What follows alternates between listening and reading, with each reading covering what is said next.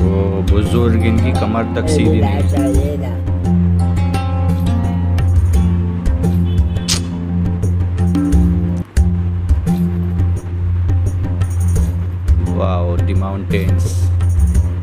nature hello and welcome guys मैं हूँ तस्खीर और इस वीडियो के अंदर मैं रिएक्ट कर रहा हूँ एक इंटरेस्टिंग वीडियो पर। बहुत ही इंटरेस्टिंग टाइटल इसका an old man living alone on top of mountain in Pakistan Gilgit Baltistan की बात है शायद ये, इसके टाइटल में लिखा हुआ है।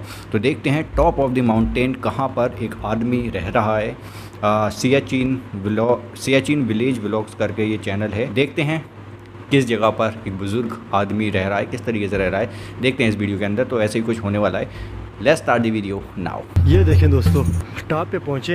एक तरह से ये बिल्कुल नाला है ब्रोक है बिल्कुल है दुनिया से अलग थलग। यहाँ पे हमें घर नज़र आ रहे हैं दोस्तों। और इस बात की आपको ज़्यादा हैरानी होगी। यहाँ पे अभी भी लोग रहते हैं दोस्तों। यकीन नहीं आता तो मैं अभी मैं दिखाता हूँ दोस्तों इन सुनसान जगहों पर। यहाँ पे अभी भी लोग रहते हैं और यहाँ के घर आप देख सकते हैं दोस्तों पूरे पत्थर से बनाए गए हैं। ये सारे के सारे घर और उसके चारों तरफ़ बड़े बड़े पहाड़ हैं ये आप देख सकते हैं और उसके बीच में आप देख सकते हैं ये बड़े बड़े पत्थर। इनकी ये देखिए आप। भी है। और नीचे जाके वहाँ पे एक जो आबादी है और लेकिन बहुत हैरानी की बात है दोस्तों और खूबसूरती की तो क्या ही कहने दोस्तों बहुत ही खूबसूरत है। आप यहाँ देख सकते हैं यहाँ खूबसूरत आबशार भी हैं। तो खूबसूरती तो है लेकिन हम देखते हैं यहाँ लोग कैसे रह रहे हैं और इनकी ज़िंदगी कैसे गुजर रही है यहाँ पे। तो ये लोग अपनी ज़िंदगी गुजारने के लिए क्या क्या करते हैं तो हम देखते हैं दोस्तों।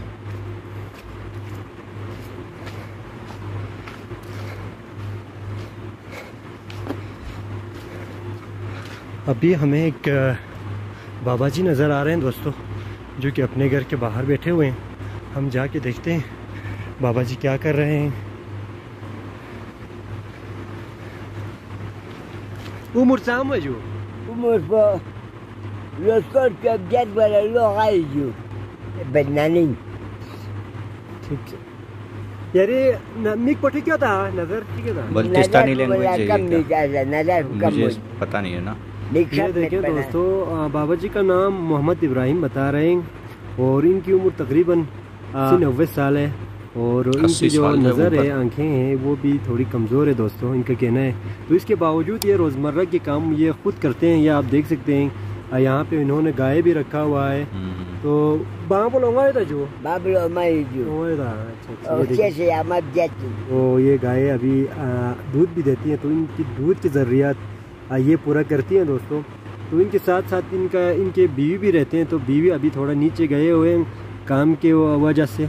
तो ये आप देख सकते हैं मैं आपको इर्द गिर्द का जो नज़ारे हैं वो भी दिखाता हूँ दोस्तों। यहाँ तो यहाँ पे दूर दूर तक यहाँ पे कोई भी नहीं रहता।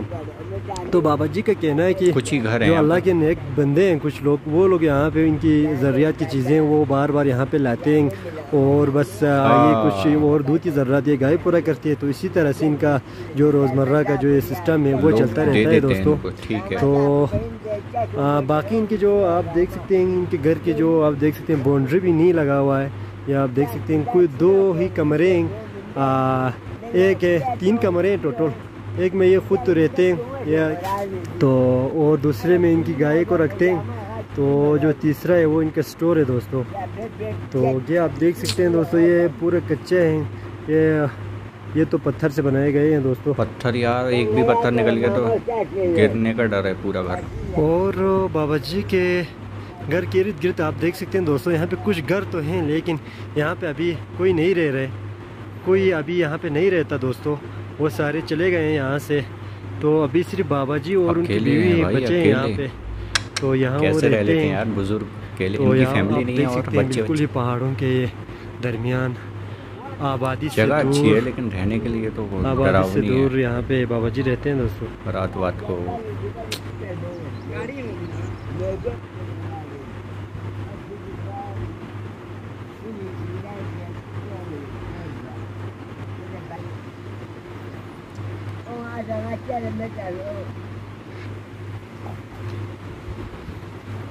बेचारे उठ भी नहीं पाते मतलब सीधे नहीं खड़े हो पाते हैं। इतनी उम्र हो गई इनकी।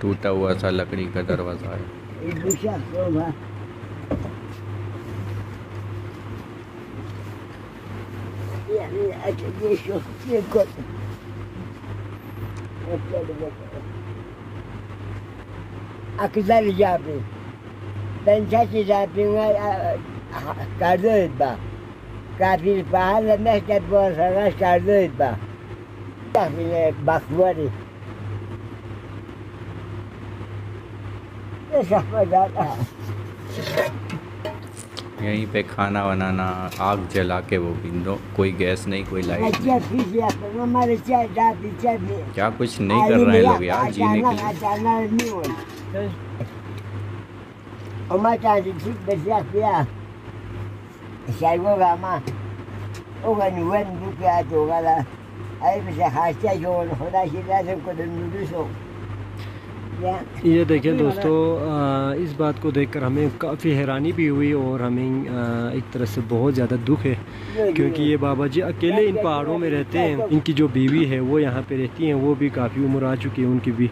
तो अभी वो थोड़ा नीचे गए हुए हैं किसी काम से तो ये अकेला अभी इधर रह रहे हैं। तो ये आप देख सकते हैं दोस्तों, ये इनका घर है। घर आप देख सकते हैं काफ़ी सिंपल सा घर है ये आप देखें दोस्तों। पत्थर ही पत्थर है। तो ये पत्थर से बनाए गए हैं दोस्तों। ये आप देख सकते हैं। आ, ये घर पत्थर से बनाए गए हैं और ऊपर से मिट्टी का लेप लगाया गया है। और बाकी ये छत भी आप देख सकते हैं। ये धुआँ की वजह से काफ़ी ख़राब हो चुका है दोस्तों। ये भी ये आप देख सकते हैं छोटे छोटे लकड़ी लगा लगा कर ये बनाया गया है।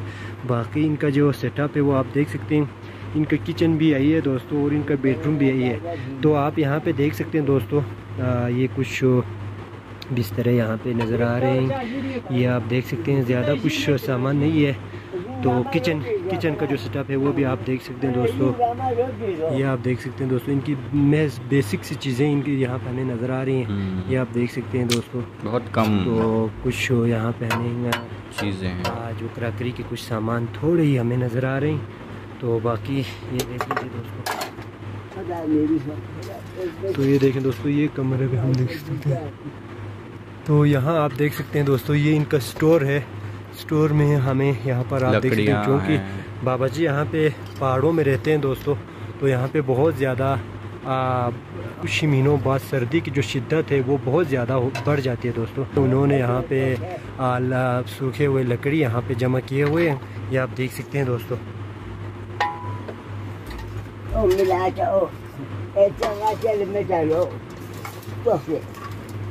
Uh, sila nga sila niya.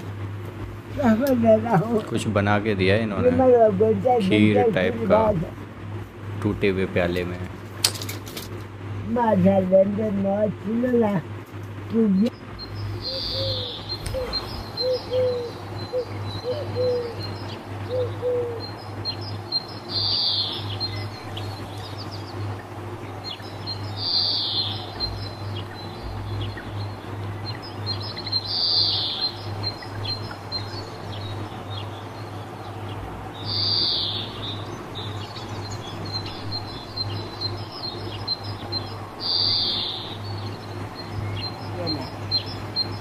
जगह तो खूबसूरत है मतलब टूरिस्ट लोगों के लिए तो सही है, लेकिन रहने के लिए काफ़ी टफ एरिया है।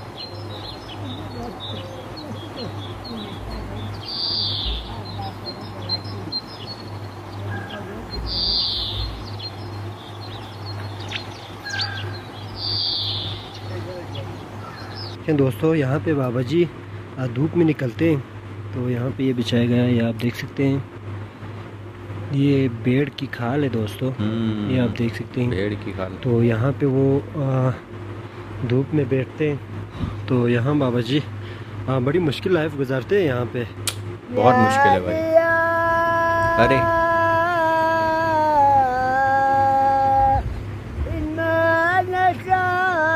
गाना भी गाते हैं भाई। क्या बात है।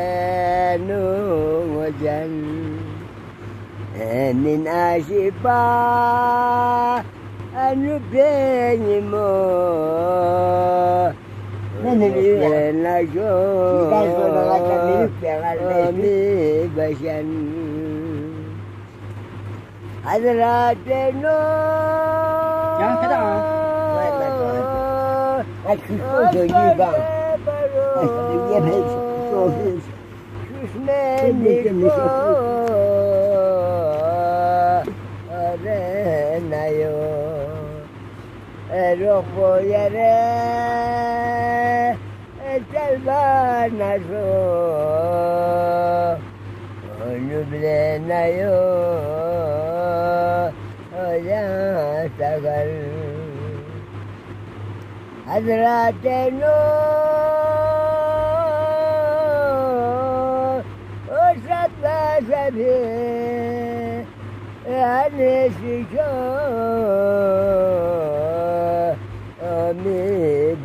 baru Yang terasa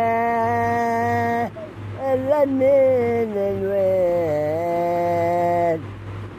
Des yang diri Anak sudan यही लाइफ है दो चार चीज़ें हैं और पूरी लाइफ इसी में है इनकी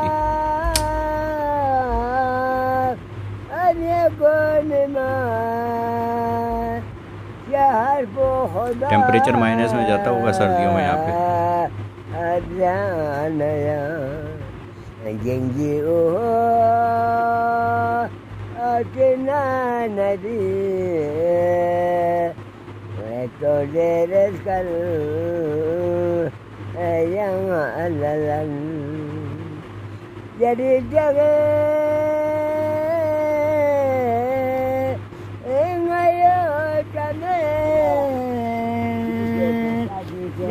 jalan tome ele hoya achat bokosa Bengadu Bare hasa Ane लग रहा है रो रहे हैं।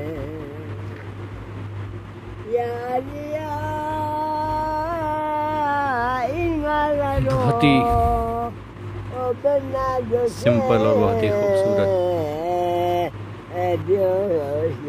देखने में अच्छी लगती है, लेकिन जीने में बहुत मुश्किल। ऐसी लाइफ Kokolina Ane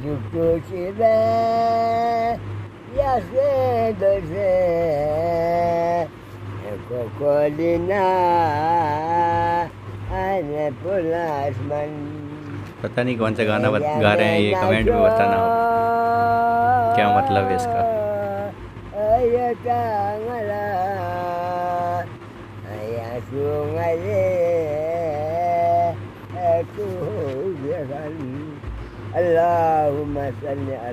मोहम्मद नात पढ़ देते क्या? ते बाबा बुज़ुर्ग जो अकेले अपनी बीवी के साथ वहाँ रह रहे हैं उनकी बीवी तो नहीं थी, कहीं चली गई थी, और पता नहीं कितने दिन से अकेले रह रहे होंगे। तो ये है एक टफ़ लाइफ मुझे अजीब लग रहा था देखते हुए कि इनकी कोई फैमिली नहीं है बच्चे बच्चे नहीं है, लड़का, लड़की, कुछ तो होना चाहिए मतलब जिसके पास ये रह सकें। लेकिन हो सकता है ना हो, कौन जाने? इसमें तो बताया नहीं कि है कोई या नहीं है, लेकिन जो भी था, बहुत टफ लाइफ थी। नज़ारे खूबसूरत थे, पहाड़ थे चारों तरफ़, और झरना बहता हुआ इनके पास गाय भी थी, रोज़मर्रा की ज़रूरत पूरी करने के लिए, क्योंकि ये रोज़ रोज़ जाकर नहीं कर सकते। और इन्होंने बताया कुछ लोग इनकी मदद भी करते हैं तो उससे भी इनका गुजारा होता है। ओवरऑल ये वीडियो बहुत ही उस लाइफ को दिखाता है, जो अनदेखे, अनसुने किस्से हैं। एक हिस्सा ऐसा है जो हमारी नज़रों के सामने नहीं है, वहाँ पर ऐसी चीज़ें हो भी रही हैं। तो वो चीज़ें दिखाती थी ये वीडियो एंड सही था, बहुत ही सिंपल बहुत ही कम चीज़ों में गुजारा आप कह सकते हैं, हो रहा है इनका और चल रही है ज़िंदगी। ज़िंदा हैं, खा पी भी रहे हैं, गुजारा भी हो रहा है इनका, चाय पी रहे हैं, खाना खा रहे हैं और सब कुछ हो रहा है इनका वहाँ पर। लेकिन हाँ बहुत ही कम चीज़ों में और हम बहुत सारी चीज़ों में भी खुश नहीं होते हैं कि हमें ये चाहिए, वो चाहिए, वगैरह वगैरह। एंड यस मैंने जैसा बोला कि माइनस टेम्परेचर जाता होगा क्योंकि जगह ऐसी लग रही है, पहाड़ी एरिया है। सो हंड्रेड परसेंट माइनस में जाता होगा टेम्परेचर बहुत तगड़ी वाली ठंडी पड़ती होगी वहाँ पर। वहाँ पर कैसे गुजारा होता होगा, उस टाइम में कैसे गुजारा करते होंगे ये? लेकिन कर रहे हैं भाई, जी रहे हैं, अस्सी नब्बे, अस्सी साल से ऊपर हैं तो अब तक जी रहे हैं तो कहीं ना कहीं, किसी न किसी तरीके से तो जी रहे होंगे। लोग इनकी मदद भी करते हैं। हमारे ख्याल में भी नहीं आता कि कोई ऐसी जगह पर रुका हुआ है, जहाँ सुनसान है, जो लोग रहा करते थे, वो भी चले गए, लेकिन ये बचे हुए हैं वहाँ पर। तो ऐसे एरियो में भी लोग रह रहे हैं, ना डर है, ना खौफ है। कहते हैं ना बियॉन्ड इमेजिनेशन वो चीज़ है जो आप और हम सोच भी नहीं सकते वो लाइफ ही जी रहे हैं।